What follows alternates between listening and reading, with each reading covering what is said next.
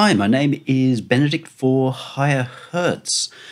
Today we're going to look at Roland Cloud. So we'll look a little at the cloud bit itself, the, the whole package, uh, and then specifically more at the Zenology, Zenology Pro thing, because uh, that's probably the most directly comparable with the bigger VST synths that are out there.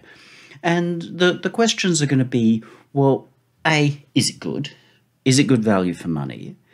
Does it deliver on its promise of being this amazing sound that you can't get elsewhere?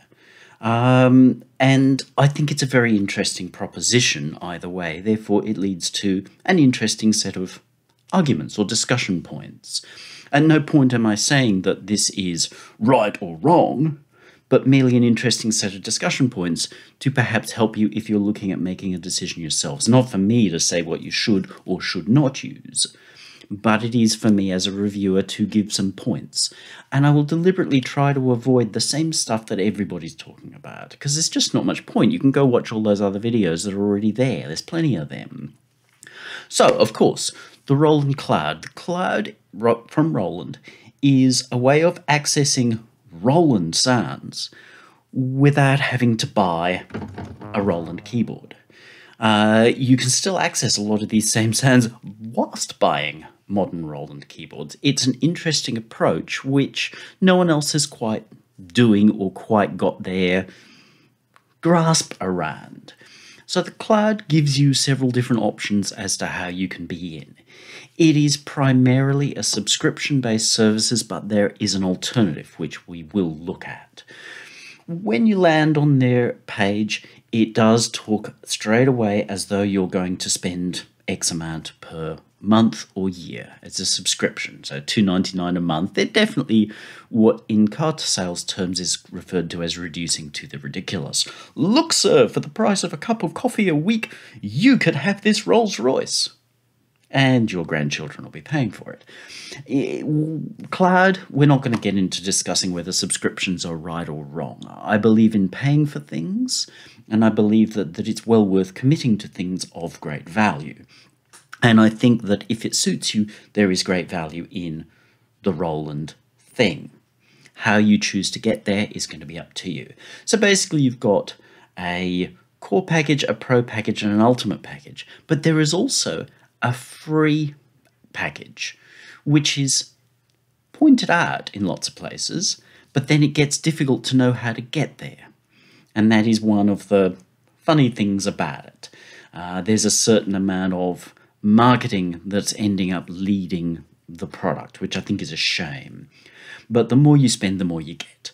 The obvious aim there for them is to say, well, you need Ultimate because you're going to feel great if you've been given absolutely everything. Is this really the right way to go? That's your business, but if you watch me and see my previous videos, you'll probably know that I'm likely to say probably not, which is why this is going to focus more on the Zenology thing. Uh, but when you first subscribe, then you get given a 30 day trial of the ultimate. So you get to pick your way through anything and everything that's there, and 30 days is not going to be enough to pick through it with anything resembling grace or dignity, which is part of another reason why I won't try. You can go and have a look at all the lists on Roland Cloud's site. You've probably seen it. You don't need me to say TB303 or uh, TR808 like we're all going to get, you know, feel uncomfortable in our underpants because of me saying it. That's, that's kind of pointless. We're not going to gain anything from that. So it's probably a pretty darn fair offer. They do also offer that you can purchase a perpetual license for a device. And you can purchase obviously quite a lot of devices if you want, as many as whatever is available. Uh, you do just still need to be a member, but you can use this free membership. To get to the free membership, you actually have to sign yourself up for a paid membership and then cancel it, which we do need to look at. But the ability to purchase something for eternity is far better than it initially appears. The problem with the subscription thing is if I stop paying for whatever reason, I lose access to everything. If, however, I have purchased a perpetual license, I don't have to be paying so long as I've still got myself signed up to their well, internet dongle service, uh, then I've still got access to it. Uh, the internet dongle service just polls itself every now and then to make sure that I'm still a fit and proper person. While some people might want to get all like they're spying on me about it, it's a pretty darn fair system and no different from iLok, broadly speaking. It does, interestingly enough, continue to give you updates. So if I were to purchase, say, Zenology Pro, Pro, uh, then I don't have to pay per month, per year, and any updates that come to it over time should automatically end up in my door. So that I think is a is a pretty fair thing, but you do have to spend some time really kind of reading, looking at the FAQs to fully understand what the offer is. But once you understand that, if it suits you, I think it's a very fair offer. So kudos to, to Roland, who are to some extent pioneering this and trying to work out what will and will not fly, in that they are giving us options. So if I decide I want to own only one of these devices and couldn't give a flying banana peel about the others, then that is exactly what I can do. And to keep being able to use it, all I need to do is still be attached to their internet dongle service. Can't really complain about that. So the question that we, we need to ask is, why would we Roland Cloud? Well, the answer is one of those sort of snake eating its own tail answer, because Roland. Roland have a unique position in the industry, and sometimes it's missed for what it is, and there is something sorry the cat's in the room moving around. There is something that roland deliver that really i don't think anybody else has actually delivered. And what you're buying into far more than anything else is the roland sound. You are buying access into the roland sound. The ability to generate and use the roland sound yourself in your own studio that's something. It used to be easy enough to do that. You'd uh, dance on Dan La Dolce Vita to your music store and say, Excuse me, Mr. Music Salesman, can I buy myself a Jupiter 8 or a JX3P um, or a JX8P or a D50? And he would go, Yes, sir, you can do that. That's going to be $5,000. And you'd be like, Yeah. And you'd go home and you'd be like, Roland Sand. And while I may seem funny about it, I struggle with Roland sound myself. I really struggle to make music with Roland sound. I have had Roland gear, but it tends to be the stuff that is the last picked up thing in the studio. Uh, so if I seem funny about it, it's simply because I struggle to use it myself. However, at the same time, so many of the records that I adore are covered in Roland sand, and the Roland sand is part of what I adore. So it's one of those funny kind of things. Maybe sometime in the future I will have another piece of Roland gear in my arsenal and it'll finally click with me and I'll go, ooh. And then I'll become a Roland man. But until that time, I will flirt with Roland things and try to get my version of Roland sand, but probably resist actually going down the Roland road because every time I've gone down it, I've ended up going, I don't like this thing. I like when other people use it. When Duran Duran use it, I love it. But when I use it, I don't love it. So, let me play you something to ask ourselves is the Roland sound worth it?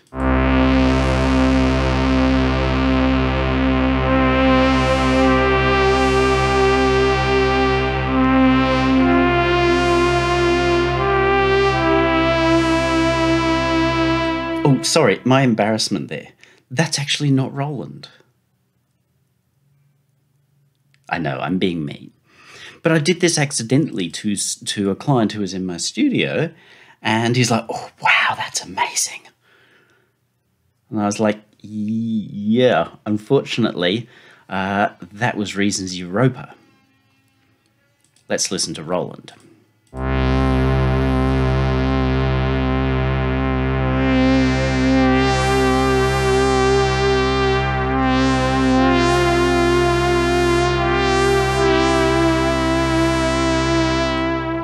That's real nice too. What I'd done is I had Zenology Pro and was trying to get my head around how do I make this thing work. I'd made a sound and finally was felt like, oh, I'm starting to make something that works. And it's like, ooh, Vangelis Blade Runner. Gotta love that. Played it out. And then being me, I always go, well, what is this doing? How, how is this achieving what it achieves. So I pulled up a synth I know super well and said, okay, how close can I get to this? Can this Roland thing deliver a thing that I can't deliver myself? given a clear target, and cloned it. So,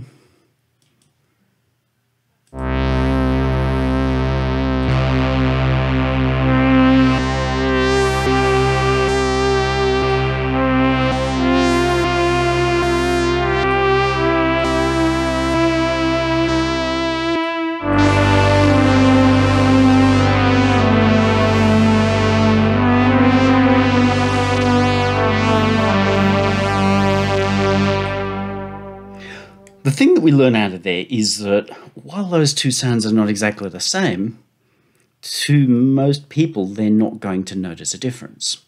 So, can the Roland Cloud deliver a sound that is so unique that you couldn't get there other ways?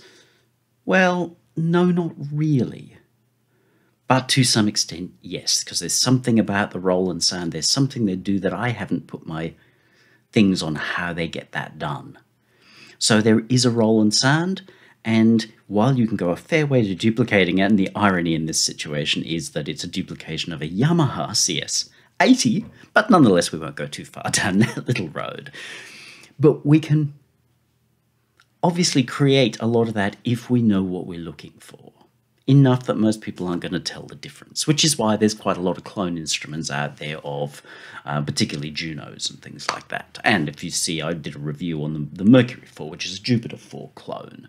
It is a doable thing to get close enough for knife fighting, and that is more than close enough for knife fighting, that little clone there. But you see at the end there, I actually ran the pair of them together. And suddenly they become even richer again. Now, this is a big key to the Roland sound, which we will come back to in a little bit. Now, I said we would look at the things around the free trial.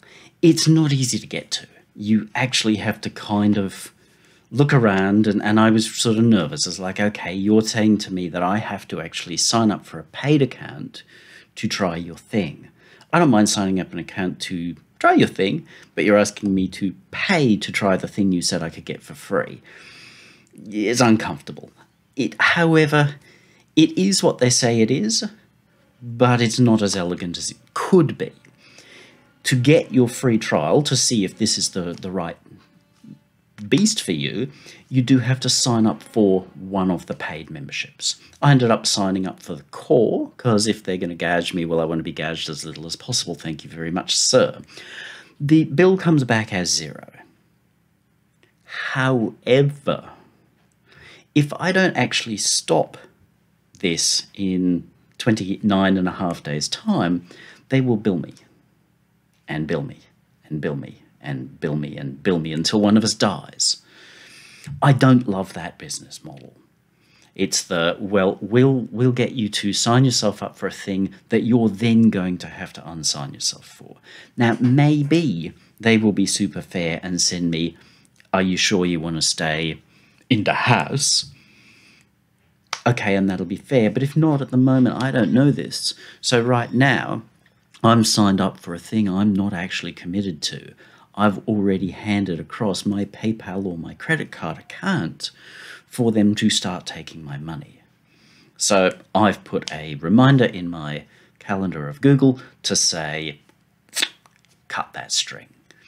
Simply because if I don't have a reminder and there is nothing to remind me, then they will start taking money from my account for a thing that I may not want. So I felt uncomfortable in the setup of this relationship, which is, I think, a thing that I should not feel uncomfortable in. So, yes, you can cancel a subscription, and they do tell you how to do that, but you have to look to find out how to do it. And I think that that's, from these days, an incredibly backwards role for the opt in, in that this has become an auto opt in, and you have to opt out of handing your money across to somebody for a product that you didn't actually choose to commit to. All I've committed to was checking it out. And that's cool. It's great. Thanks for letting me check it out. Falcon I can't check out at all. So that's good, but just be aware and manage yourself going into this fella. Another thing I figured I would have a look at, seeing it's there, is ZenBeats. I just did a whole, you know, what's the best DAW for beginners? So, you know, being a little bit of a sucker for these things, it's like, oh, well, what's this got to offer? It's an app that runs on appy devices, not remotely interested. But they also say it's going to run on my computer. Okay, fair enough. Why not? So, here, boys and girls, I made a little bit of a thing to see, okay, what happens? How does this work? Now, whilst this is getting set up, I must say I struggled with this getting set up as well. I had to restart the Roland Cloud Manager on my computer a couple of times before things really came through to be what they said they were going to be. So you may find that their process is just a little clunkified. But nonetheless, get this thing here. Hey, it actually looks like a DAW it's got a kind of a nice feel about it.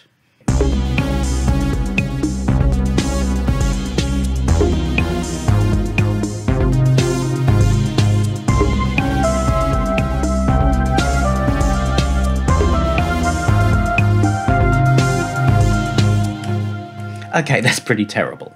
It really is pretty terrible. But I've always taken the approach when looking at a DAW, especially a beginner's type DAW, is that how is a beginner going to approach this? So I try to write things as simply as I can, like I was, as I said last time, sitting on my floor with a couple of keyboards and a cassette four track. So what's what's it going to be like? Am I going to feel like, oh, this is helping me, or am I going to feel like, uh, I want to kill myself?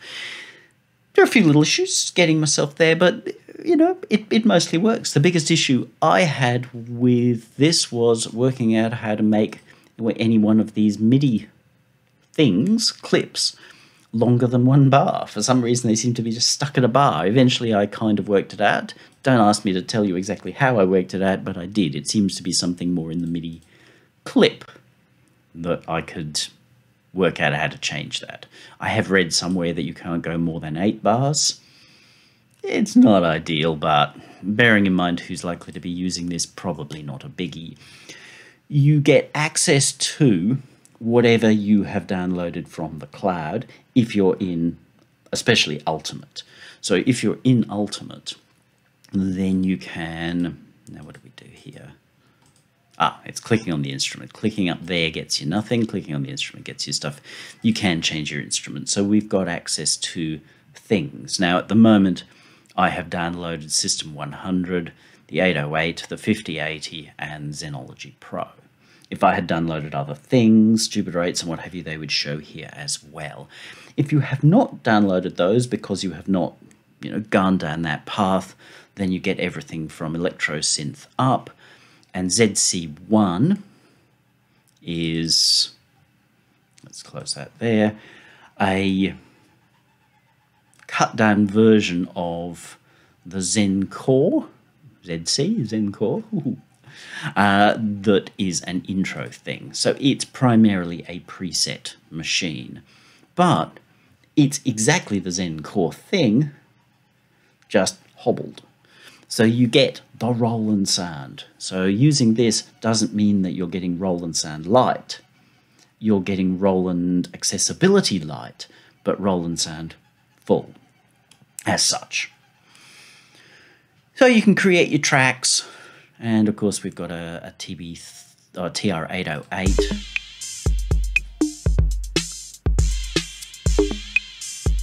And it sounds, well, quite a bit like an 808, oddly enough. They do a pretty good job of emulating their own instruments. And I know that sounds kind of stupid, but they do nail their own sound really rather well. Not perfect, perfect, but a lot of that perfect, perfect sound is a result of things that you can't emulate inside the box. So, as such, it works really well. EQ is odd, you've just got a top and bottom, but you know what? It actually works nicely. So I was able to take this sound and narrow it down so that we still had something resembling a little bit of space for our 808 machine. It works fine. You've got a slightly unusual approach, but you've got access to plugins, which are part of the, the Zenology thing, I believe. They are not the world's best plugins, but they are millions of miles away from being the world's worst. They are all workable plugins. They're not things that are going to be like, ooh, disgusting. The only thing that I actually had issue with was the, oh, we can put ourselves into full mixer mode, uh, the limiter.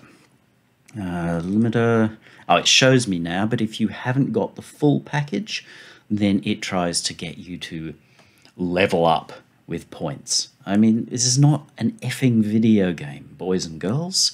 Guys, Roland, treat yourself with more respect because if you don't treat me with respect as a customer and you make it act like Ready Player One, then anyone who's remotely serious is going to go, this is just like a video game and they're going to walk away. So there's a certain amount of gamification, but the limiter, uh, it does operate but it operates with the uh, hammer of Thor.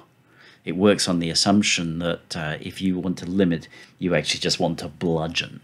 Uh, it was interesting, shall we say. It's probably this preset setting here, which I'm not going to go into, but you don't actually need to do it. But it's basic, it's a little clunky, but it's also elegant enough to work and to work quite nicely. So you can go through the various options of how things work. You've got sends as well. So you can hear I'm sending to a reverb, and the reverb built in was okay. It's usable enough. So if you wonder about ZenBeats and you're just beginning and you haven't committed to a DAW and but you're going to commit to the, the Roland Cloud, there are worse places to start. Now let's dig into the Roland Cloud thing and the Roland way. Because remember, there's one thing that Roland do well, and that's being Roland. There's a whole pile of stuff that Roland don't do well, or perhaps more to the point, choose not to do at all, and that is not Roland. So there is a, a pretty clear divide. If you come in here going, oh, you know, I like I like that D50 sound, but I'd like to play around with some Yamaha style FM. Hard limit, not going to happen. So you will find that there's no Yamaha style FM, there's no Casio style phase distortion, there is no additive, so no Kawai K5000 style of synthesis. And I'm not saying these people should be cloning other people's stuff at all. Some of it they do. You'll see a Prophet 5 filter clone. But if you're looking for the broadest model, if you're going, oh, will will um, Zen, sorry, will Zenology um, or Roland Cloud replace Serum for my wave warping? No, it won't even try. Roland does Roland. It's a strength and a weakness.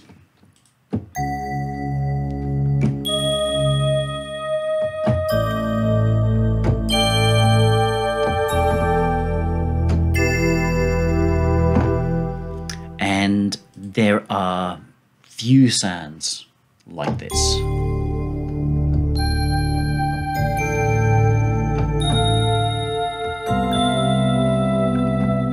This is a D50, and I'm going to start at the D50 for the moment, just jettisoning everything before it. Uh, as I said, if there's enough interest, I may well come round and do something around Jupiter's and what have you. But for the moment, we're looking at the Zenology, how it got there, and its its history. But you listen to this, there's a tremendous pin-sharp clarity whilst sounding very nice. That's the bit about the Roland sound. I don't get how they do that. Good on them. Then the XV50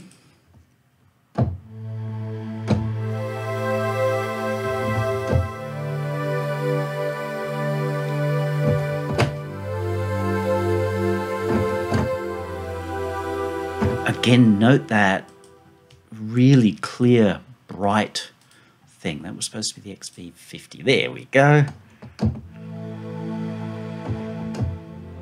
Very clear and bright. There's not a lot of bottom end. And note the same thing with their, their 808, not a lot of bottom end.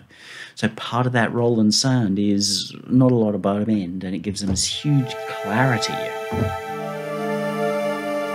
And you will have heard D50 and um, 1080, the, that series, the 80 series, across just about every movie you've watched since about 1988. Just everywhere. So much so sometimes that those presets are a little hard to use because chances are you've heard it before.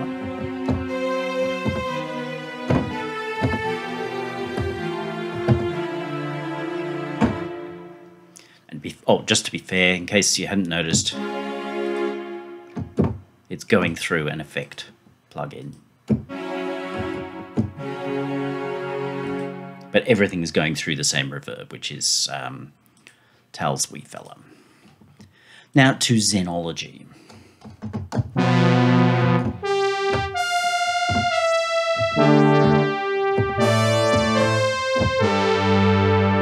That's a patch that I made, so it doesn't even try to be like the D50 5080 thing.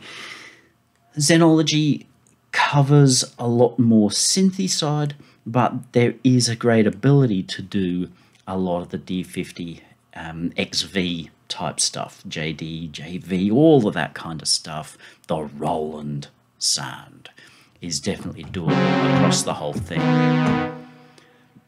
Now let's look at the editing, and this is where I say Roland do Roland, and I'm going to show you something interesting. We can edit a patch. Just look at the architecture. Don't look at anything in particular. Just look at the style of the architecture. We can edit the common features between the upper and lower partials because we have four partials. Lower, upper. And then we can edit the partials themselves. Now, partial's a strange name for Roland to have chosen because a partial is another name for a harmonic in additive synthesis. So in additive synthesis, you have your fundamental, and then you have first, second, third, fourth, what have you, harmonics, which is used in Yamaha's uh, DX because you choose what your modulator is going to be in reference to your core operator. So they've obviously been looking at what Yamaha have done and had massive success with their DX series and said, how can we sort of DXify our thing? But their thing is still incredibly tied to the Juno thing. In many ways, the layout of a lot of this is still Juno or Jupiter. It's just been digitalized, which is good and bad but they've got this particular structure. That's just what I wanted you to see. Then we go to the XV 5080, which is 10 or more years later. I can't remember the, the, the date on these things. Uh, and we, when we find the edit button, oh look, common. We can choose our structures. They're not as complex on this, but you've got other options. We can look at our wave generator, so that's our oscillator and pitching of said oscillator. We can look at our filters, a time variant filter, if you're wondering what TVF means. Technically correct. I guess they didn't want to write VC because they are definitely not voltage controlled. TVA, LFO, velocity and key assignments, a matrix, control switches, and then some routing of patches and what have you.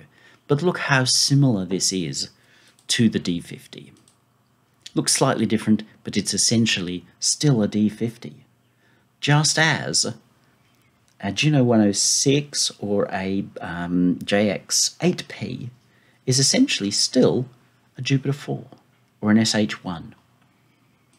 Roland are not adventurous. You can take that as a good or a bad thing. I'm merely stating it as an observation. Now let's look at Zenology. Now, Zenology is literally supposed to be the exact core that if we run out and buy an oh, I can't remember the name of it X X something or other 80 if we buy basically anything Fantom forward it's running Zenology. So let's have a look. Oh look we've got partials. That's what we're looking at here but let's go have a look at pitch. Oh we can look at the pitch of all of them. We can look at the oscillators all four partials at once or we can look at them one partial at a time which lays out a simple synth, or we could look at the four filter of each of them together. But they then have this, what to me is a really embarrassing button that says Pro Edit. I'm so sick of the word Pro. If we hit pitch, it will now show me. Actually, we don't even have to hit pitch. It will now show me all four of my partials, and we need to explain partial fully in Roland speak, in a list. And guess what? Blow me down if that is not basically a D50. It's basically your D50 architecture moved through the XV50, 80 through to here. Roland are still giving us the same thing that they invented in 1988 which they really invented in, I'm not quite sure how far back it goes, but 1979 or something like that.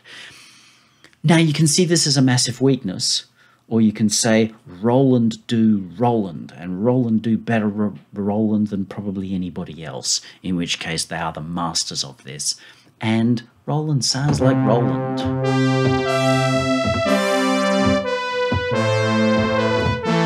They do a very good job of it. So your architecture is partials. Now, partial, as I was saying before, technically is an overtone in a harmonic series. So your fifth harmonic is a partial. It's the fifth partial. But in Roland speak, what a partial is, is a synthesizer. D50 was called linear arithmetic. So they were saying, oh, here's a form of additive synthesis. Because despite that people will try to be pedantic and say you're wrong, Yamaha's FM synthesis was additive. You took our basic sine form, we added modulation to add overtones. Roland said, yeah, we don't want to do it that way. We do Jupiter Juno. So they said, we'll allow you to add up layers of synthesizers. Now, when I played you the uh, Zenology, Vangelis Sound, and my Europa Vangelis Sound. Remember, I ended up playing them together, and suddenly they became even richer. This is the Roland thing. A big part of the Roland sound is that everything from a D50 forward has actually been four synthesizers, four discrete synthesizers. So they learnt something from Oberheim's four voice, eight voice, where you had to program four or eight separate synthesizers to get one polyphonic sound. They've kept that. So to get one polyphonic sound here, I've got to program two synthesizer sounds.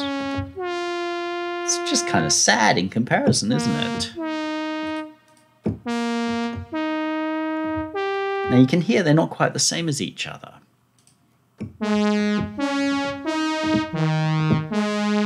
Putting the two of them together, you get this really bigger than most other synths will deliver you sound because it's about layering.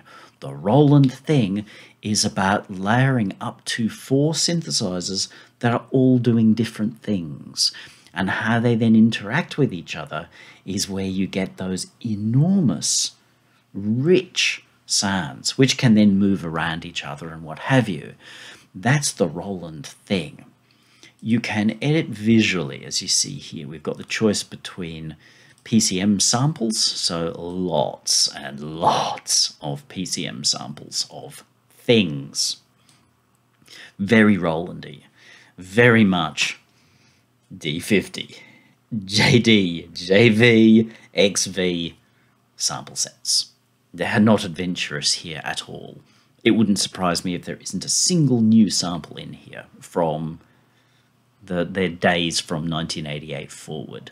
It's probably mostly all in here or some subsection thereof. They do give you the ability to jump into particular areas. So I want choir, or let's look at the voice ones. So we can narrow things down a little bit, which you're going to need because there is so darned much stuff in here. And that can be good and that can be bad. We can run a virtual oscillator, so it's a software oscillator. The PCM syncs, which are basically a waveform, just another waveform. They're super saw. Which one are we in? This sounds flat because it's tuned flat.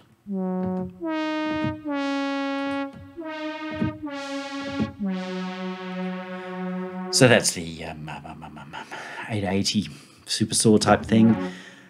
At the time, amazing. It's still good. Nothing wrong with it. Still works just fine.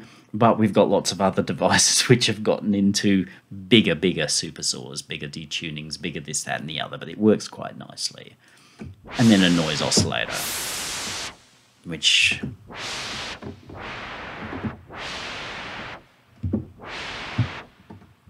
probably is an oscillator. That's just a picture.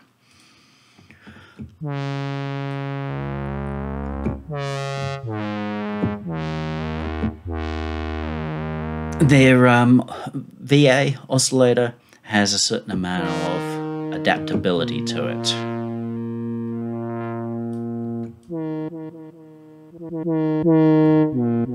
You can set up your wave gain, but not in smooth amounts. You can add 6 or 12 dB or chop some off in amounts.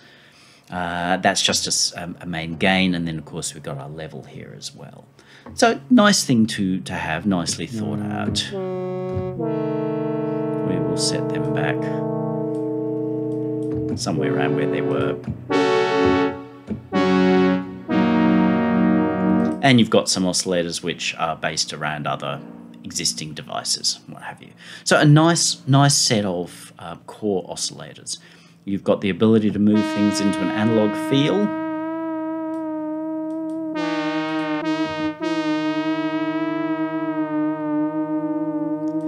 They've had that since I think my JV880 had that. Um, Jave didn't get a lot of play from me, as I've indicated before, but one of my records is covered in it, um, or at least one sound. Uh, Spaceship, the original Spaceship, um, is covered in brass from, from Jave.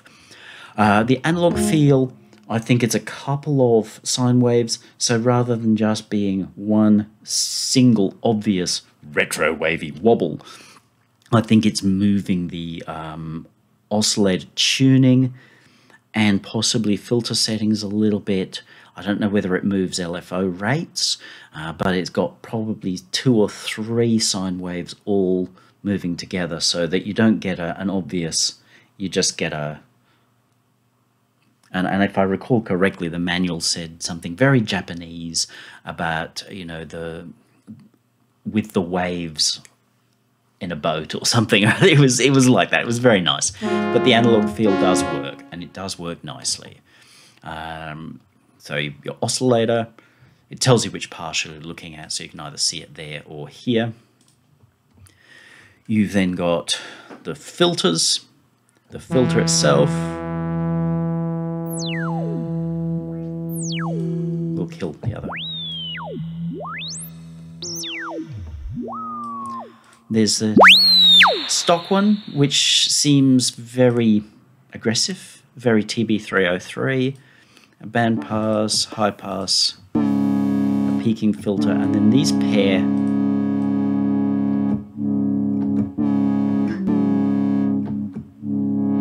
which I think are there just to match some older hardware. The, their core VCF we need to fix this because this pulse width is not right anymore. We can't filter nicely. That's better.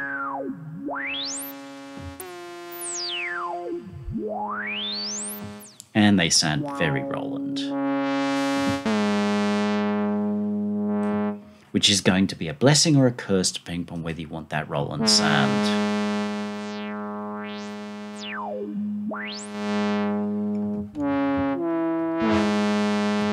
Jupiter 4 MG, I can't remember what that is. Similar enough to each other, P5.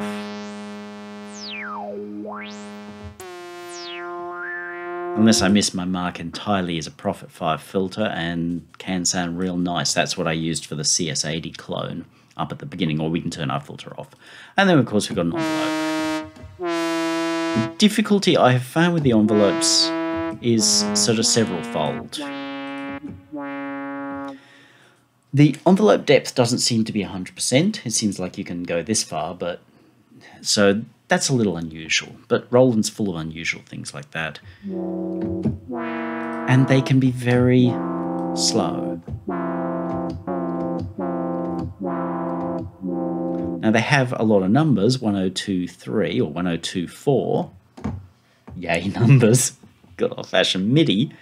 But in here, this mode, it can be a little hard to get them right, which means that you need to go filter, filter, envelope, partial one. Where's my um, attack? There we go. They've nicely labeled it with attack because it's real hard to find. And even there, because the numbers are so great, it's hard. But if you hit shift, then you can get down into single numbers. So their approach, if we were comparing this to something else, because I think it was $229 to buy this outright. So if I was saying, okay, well, let's look at buying myself a $200 powerful synth, we'd look at Zenology Pro, we'd look at um, Hive, uh, we might look at Zebra. I would definitely look at Zebra, Predator, um, Dune, all of the all of the, the obvious ones. Then they have a much smoother, more modern, nicer feeling programming interface. If, however, you are knee deep in the Roland Road, then you're probably going to love. Ooh, it's so Roland. So I'm not going to say whether it's good or bad, it merely is. It's very Roland. So it can be a little hard and take some time to get your head around how the envelopes work. Same with the amp envelopes. So filters, envelopes, amp, there is an EQ, that's fine, very Roland kind of EQ, does what it does. Uh, you've got LFOs, only a pair of LFOs. They haven't really looked at saying, oh, with software we could expand ourselves. but two LFOs is generally going to be enough for most things. To be honest, haven't dug into these at all. They look very much kind of obvious.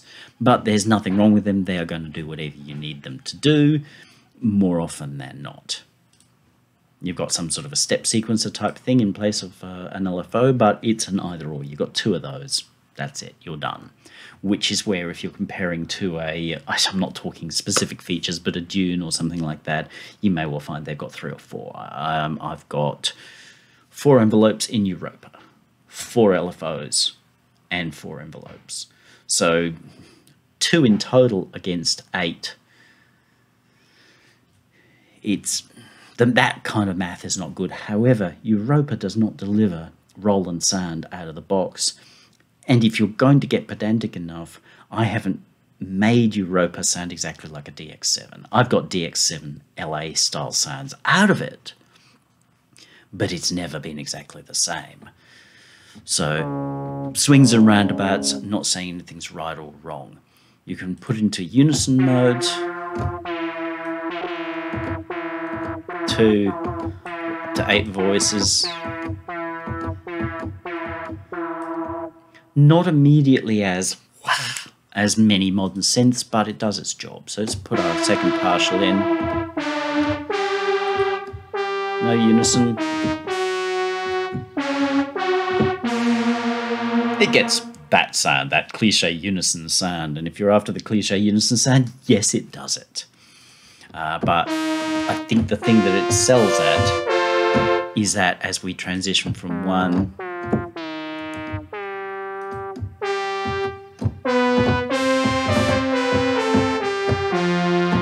one synthesizer playing alone to two synthesizers playing together in parallel with each other. So that's two separate patches playing in parallel. we get something that we don't easily get elsewhere. Not that we can't get, but we just tend not to do. So Roland pushes us down that road of saying, yeah, one synth probably isn't going to be that exciting. But if you put two, three, or four synthesizers all on top of each other, and let's say one of them here is running, uh, what will we run? Um, oh, Japanese choir. Who wouldn't want one of them?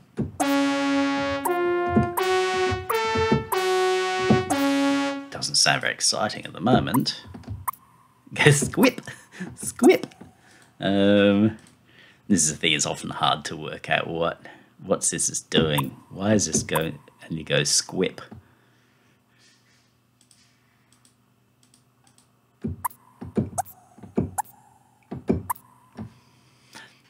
You have to really understand the Roland thing. Oscillator, partial, here PCM, wave left, wave right. No, I don't want them, thank you. This is where it gets clunky. Um, I don't know. It's going to be somewhere in the settings. But I must admit, just about every time I started looking into these things, I ended up with.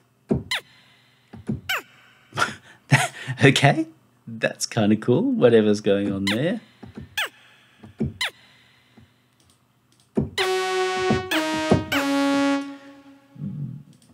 But I do find myself kind of flawed and it's not intuitive enough a workflow to easily go, ah, that's where it is, because you've got to see things the Roland way and know what's likely to have caused it to do that thing.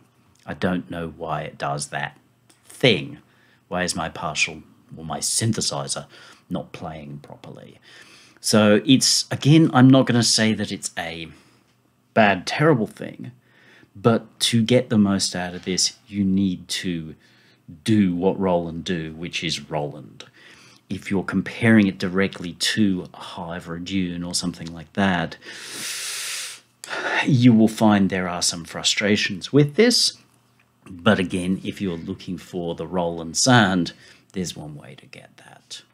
So let's look at just the good and bad. I think they're all relatively self-evident now.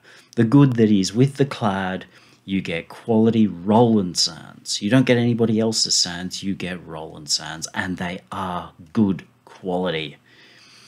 You also get access to a lot of famous Roland instruments.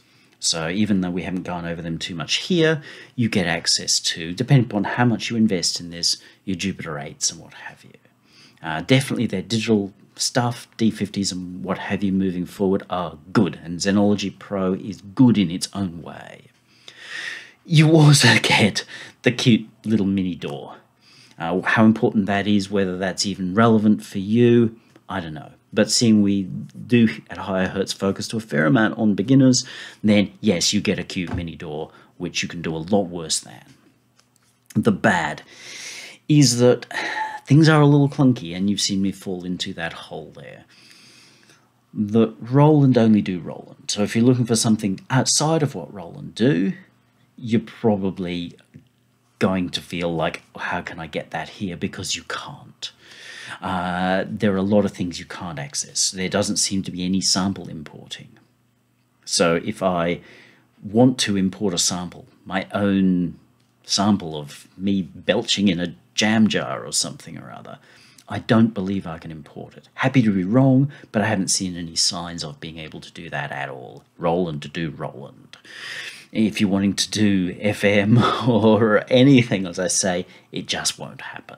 But if you invest a lot and you get everything, then you get access to a lot of stuff, which is definitely good enough to have been used on almost every movie that you've watched since 1988. Uh, so it can be a little hard to get yourself started, and if you do start, especially in the um, their little mini door, um, it feels very gamified. As in, it's not about being a professional of anything. It's not about a craft. Um, it's this very modern idea of everything's just for a laugh because we're all playing Ready Player One. Um, the problem with that approach is that you will burn out real hard, real fast. I just spent a lot of time responding to someone this morning who was like, "Oh, my mix doesn't work. I'm so so pathetic at this. I'm gonna have to throw away all my gear before I kill myself." Blah blah blah. Didn't quite got that far, but I, I want to get the point across. Now, the thing was, I was about the fifth person there who said, "Hey, your mix is great." Could your mix be different? Yes. Should your mix be different? No. I can hear what you're doing really clearly. Everything is super clear. And it's doing its job nicely. I feel no need to turn this off. I don't feel any need to say, oh, if only this had been a bit nicer. It was great. It was technically great. But even there, his sense of, you know, building his piece and his story was way above average. But the problem was that he was approaching everything head on, and he probably thought that making music was the game of cloning, as I joked with his Square Puncher 48. You know, and I talked about how in 1990 I hit that wall myself of, oh, I've made my first EP and that was pretty good. Now I need to make my first album. It needs to be even better. And there I was sitting there trying to play the game of cloning Front 242. Do, do, do, do, do, do, do, do, do. Oh, God, it doesn't work. Because guess what? I am not Front 242. So the gamification approach that the Roland Cloud has a lot of on the surface, lots of little devices that, oh, if you if you download this device with these preset sounds, then suddenly you'll be Knight Rider. It's like F off. That's not the way that a craft is made. If we were to, following the Japanese style without trying to be derogatory at all. But if I were to walk into a um, dojo in Japan, you know, hello, Mister Mister Zen fighting dude, um, I I want to be Bruce Lee. He might say, "Okay, son," but he's going to be worried if I then pull out my nunchucks and start swinging them around my head like a total idiot, he's probably going to go, Thank you for coming, because you're not even going to sweep the floor. Karate Kid reference. So the gamification side encourages people to go head on and see it as being a novelty yes, I know companies see us as an easy way to, to scrape in cash, but it's a good way for you to get hurt. So that's a big negative. negative, and while I don't like it in any company, I really don't like seeing it in a company like Roland, who have been a mainstay of pure electronic music for. I mean, they go back to the 50s or 60s or something or other if we wanted to get into the Ace Tones.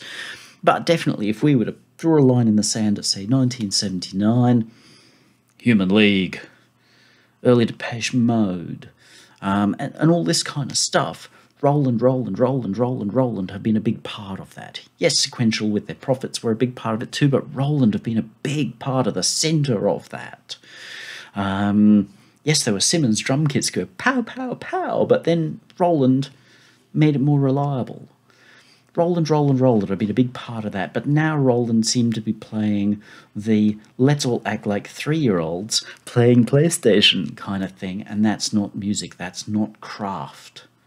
Just as if I were to take my nunchuck and swing it round my head, I'm going to last all of five seconds if I go up against somebody who does proper hurting people for a living business. So pick which way you go. The gamification bit is a it is a worry, and you have to stay out of it. I get why Roland's going down that path because it seems to be the only way that you can score money off people easily. But I don't think it's good business. But bottom line, if you're after the Roland thing and you don't want to go out and buy a box with keys attached to it, and the limits that come with that, you want to do the Roland thing on your computer, then the Roland Cloud or at least Zenology Pro is the way to go. It's the way to do the Roland thing. So I hope you found some value in this and some more understanding as to what the Roland Cloud brings. Benedict again for Higher Hertz. If you have broad questions, ask them down below after hitting the subscribify button, please, or pop on over to higherhertz.com. You can do the same thing over there. You have a great day. day.